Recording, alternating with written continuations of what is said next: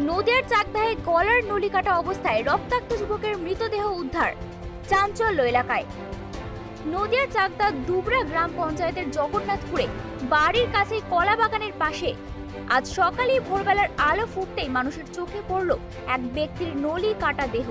জানা যায় মৃত ওই ব্যক্তির নাম পবন সর্দার। বয়স আনুমানিক পঞ্চাশ বছর। মৃত পবন সর্দারের কন্যা লক্ষ্মী সর্দার জানান, গতকাল রাতে সাড়ে সাতটা নাগাদ খাওয়া দাওয়া করে ঘুমান পবন বাবু এরপর রাতে কি হয়েছিল তারা আর জানতে পারেননি। সকালে ভোরের আলো ফুটতেই তাদের কাছে খবর এসে পৌঁছায় তার বাবার নিথর দেহ কলা বাগানের পাশের মাঠে পড়ে রয়েছে। এরপর চাকদা থানার পুলিশকে খবর দেওয়া হলে পুলিশ এসে মৃতদেহটি নিয়ে চাকদা হাসপাতালে নিয়ে যায় এবং ময়না তদন্তের জন্য পাঠিয়ে দেয় কল্যাণীতে।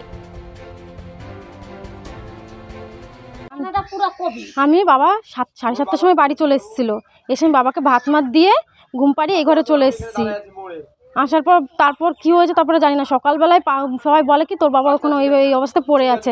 তারপরে আমি আর যাইনি। সবাইকে ফোন করি দাদারে ফোন করি দাদা আবার ছুটে এসে দেখতে যাই দাদা ছিল না না দাদা ছিল না শুধু তিন ভাই বোন ছিলাম আমরা। সকালবেলা মানুষের মানুষ যখন বলেছে তখন তোমরা জানতে পেরেছ? হ্যাঁ। আচ্ছা তারপর কি করলে?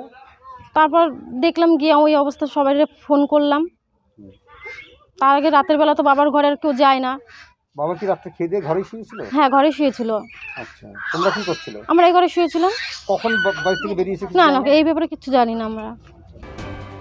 নদিয়া থেকে মলয়দের রিপোর্ট টাইমস বাংলা।